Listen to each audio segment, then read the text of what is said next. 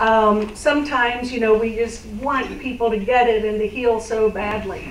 And um, it might, it's none of my business really where they are on their path. Yes, I can have concern and compassion and care, but I can't do it for them. The greatest gift, and I'm really getting it, and I know I'm peeling it away more and more, is the greatest gift that each and every one of us can bring to this world is our own light. Not trying to fix and point our fingers and change someone else. And so if you really want to do some good work on the world, it's time to really look in the mirror at yourself and do your own work. Um, we need to continually ask for guidance and to be led. Train our minds. I love what A Course in Miracles says. It's a course in mind training. It's training us to align our thoughts with the still small voice, that internal teacher, the Holy Spirit, whatever you choose to call it. But we're continually being led and met where we are with a sincere desire and intention to wake up, to be the best we can be. And we don't even know what that looks like. We're so busy uh, thinking that we know what our best interests are, but we really don't have a clue. And sometimes we're working so hard, this is me, to make something work, but the spirit or the universe can't give it to us because I'm so focused on this that there's all this grandeur over here waiting to be dropped in our laps, but we're so focused on this that it can't happen. So surrender. I talk about that all the time. We've got forgiveness here at the Namaste Center. This 2018 is a year of forgiveness. And really look at every uh, dark spot where we're still holding judgments and resentments and grievances and, and be willing to heal those and peel that away. Shine the light on it. Let it go. We don't have to hang on to this anymore. So I, I want to, um, of course, Course in Miracles has been such a blessing to me, as well as um, lately the Way of Mastery. And, and that's been a, a wonderful blessing drop back into my life as well.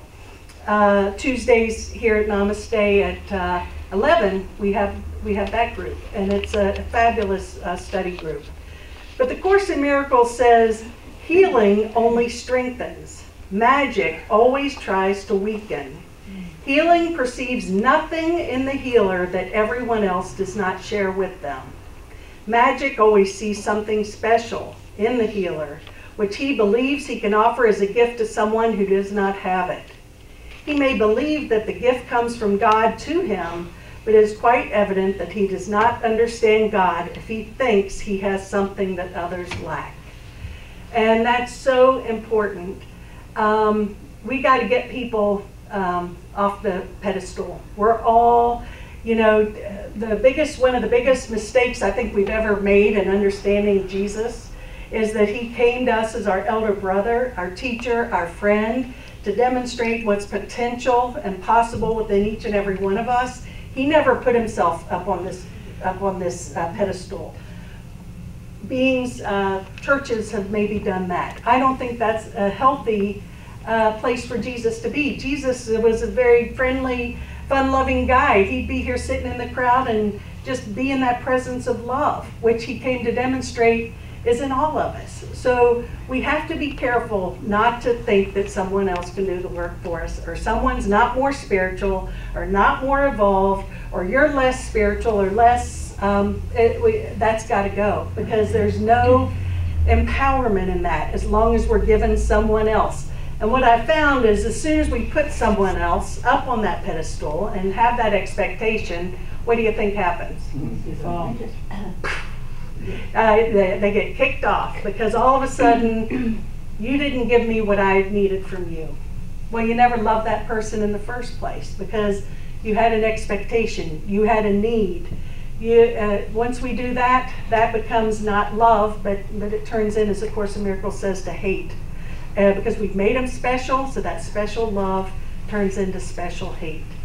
Our role is to love as God loves, which is unconditionally, totally, uh, even though the form of our relationships may be different, the content we're seeking needs to be the same. The content is unconditional, total love and appreciation. Yeah, we have different forms of relationships. Yes, there's some people that maybe we're not in tune with, and that's okay too. We can still love them unconditionally. Look at where you're getting your buttons pushed and take them into the altar of your heart and ask that to be transformed so that we can see everybody in that circle as, as equal and whole and healed. Well, uh, our friends um, Bob Sima and Shannon, uh, a great song that they uh, have sung for a while now. It's called Healed People Heal People. We can only heal, uh, we can only teach by demonstrating, not by preaching, not by anything more than demonstrating. Who we are speaks louder than anything that we can say. So we have to be in alignment with that message. Uh, I love what, um, if, you know, we talk about this, uh, excuse me, we talk about this uh, new paradigm or awakening, whatever it is, whatever it is we're moving into. God only knows. Um, it's exciting. We're in exciting times. As I said in the meditation, we're here in a area, a part of the world that was literally a gathering place right here in Flat Rock. Uh, and Julie, our friend Julie, pointed that out this week that the sacredness of this area and the tribes that would come here to meet and gather uh, to really, you know, ground that healing Mother Earth energy, you know, really bring love and healing to it. So we are in a really awesome place.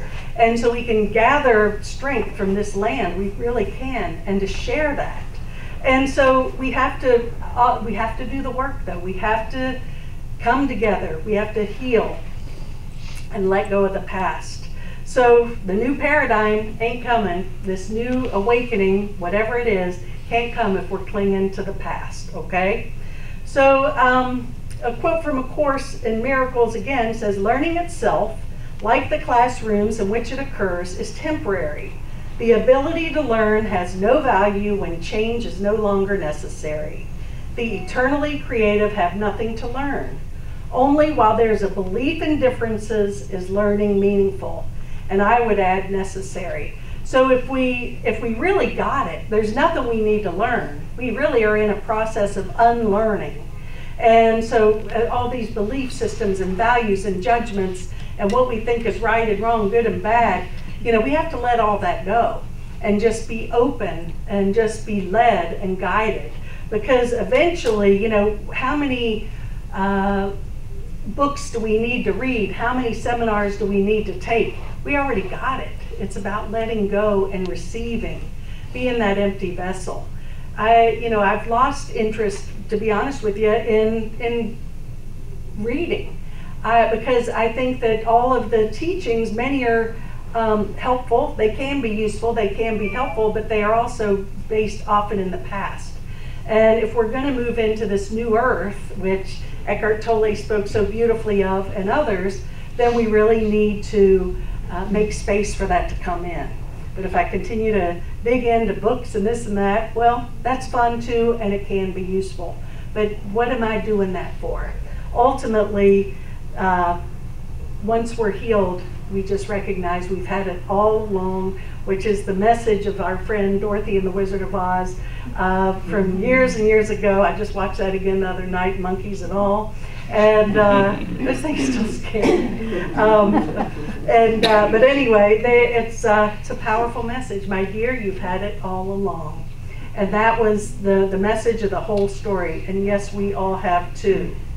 Um, as I mentioned earlier, and I confirm this again, um, support.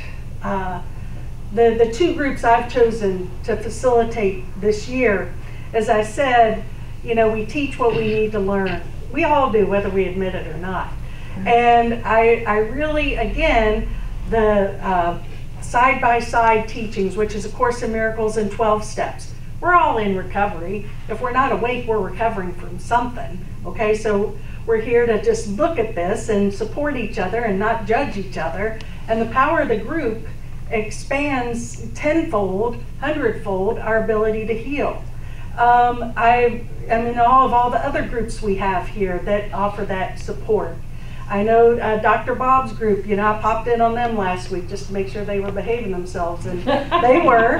And, uh, you know, there's a lot of healing that takes place in there, and lots of great messages, and, and other groups that we have here. I mean, be it yoga and uh, the miracles and healing groups. I mean, there's so many opportunities, and I think that it's for me to remind you we aren't alone on this journey.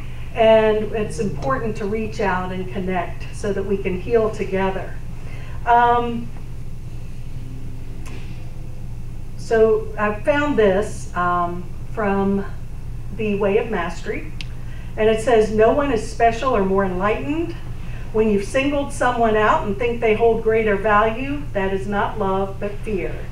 Where would you be if they leave? And that's so true because, again, that's how we just keep setting ourselves up and getting let down. Um, I claim my role in that and I recognize it and I choose to, to let that one go as well. I really want to be comfortable and, and in my own skin. I want to be happy. I want to be able to enjoy my life. And I want that for each and every one of you guys and you guys out there. So um, God is not partial. All his children have his total love, and all his gifts are given to everyone freely. Um, no one's exempt from God's love, but we have free will. It's that free will thing that we have to accept. We have to open ourselves up to be willing to choose love over fear at every moment. Release old paradigms and patterns of thought that keep us recycling the same experiences over and over. And, you know, finding it's not the easiest of things to do, but it's certainly worth it. Um, actually, I take that back. It seems like it's not easy, but it is easy if we just, uh, it's actually is, it's our more natural state. It's actually much more difficult to hang on to the crap than it is the good stuff, the, the freeing stuff. But we just got to train ourselves to go down that path. Um, I want to just, uh, the Course uh, also says, this is one of my favorite quotes because it says, miracles occur naturally as expressions of love. They are performed by those who temporarily have more for those who temporarily have less. And I think that sort of explains it. That's why we sort of need each other. You know, I have gifts in certain areas, and so do each and every one of you. And I may be more aware of certain things, and you may be more aware of me than me of certain things. So that's how we, we heal is we bounce off each other. We, those of us that temporarily seem, I would say seem to have more than those, uh, because we really don't in truth, but in this, in this illusion or dream, it may seem like I have more or you have more in a certain area. But when we can exchange that, you know, we don't heal alone. So make sure that we are we recognize our gifts and we share those freely. And you know, one thing I, I recognize too, it seems uh, you know, as I've said, we, we got to take people off the pedestal. And I think we do that because we're afraid to look at our own darkness. We're afraid to look at our own stuff. We want someone else to do it for us. We want a list of rules and regulations and commandments to live by.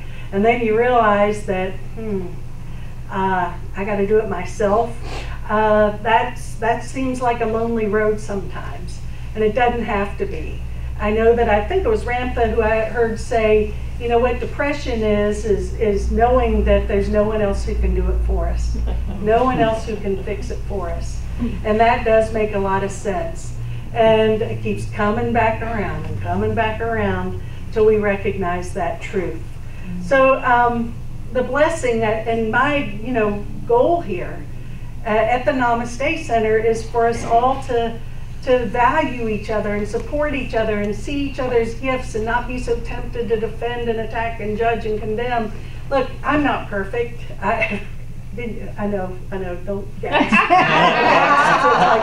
And uh, uh, far from it, you know, I, I've, but I, I don't think I've ever intended to come up here and say that I am. I am perfect as a child of God, and so are you.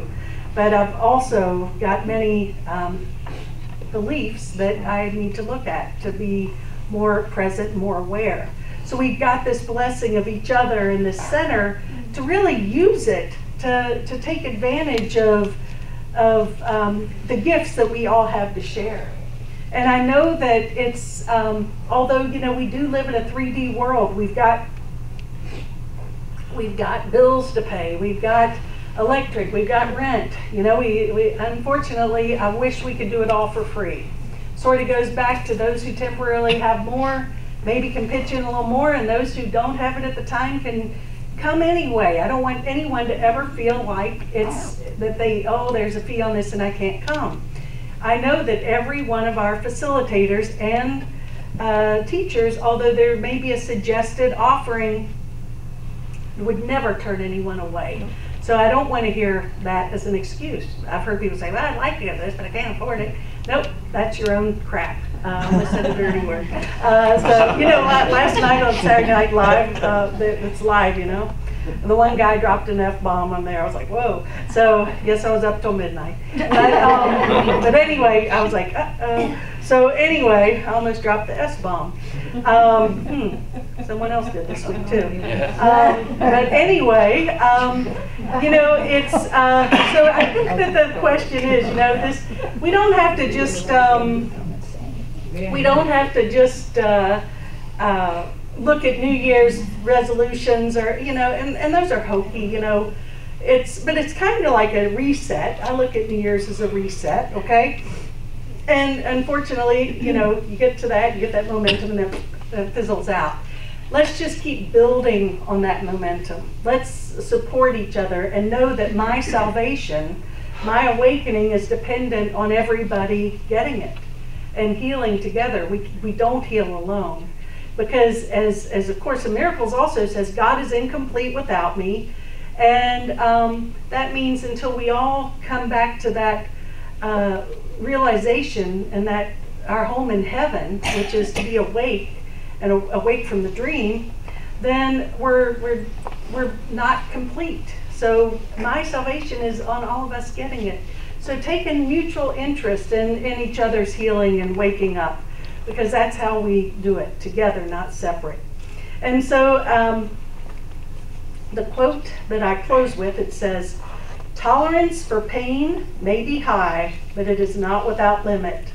Eventually, everyone begins to recognize, however dimly, that there must be a better way. As this recognition becomes more firmly established, it becomes a turning point this ultimately reawakens spiritual vision, simultaneously weakening the investment in physical sight. The alternating investment in the two levels of perception is usually experienced as conflict, which can then become very acute. But the outcome is as certain as God. Well, the good news is tolerance may be high, but it's not without limit. So how high? Well, like in 12 steps, they say you don't have to get off the elevator at the bottom floor. You know, how much do we really want to tolerate? Yeah, we can, we don't have to go to the bottom floor before we get off. And that's the good news. Right here, right now, every moment, I recommit. And you have a bad day, you have a bad decision, you get funky about this or that, that's okay. As our friend Bob Stevens always says, I recommit, I recommit in this moment. Don't beat yourself up. You don't have to analyze, you don't have to judge. Just recommit because the good news is the best is yet to come, and that's the truth. So it is. Namaste. Namaste.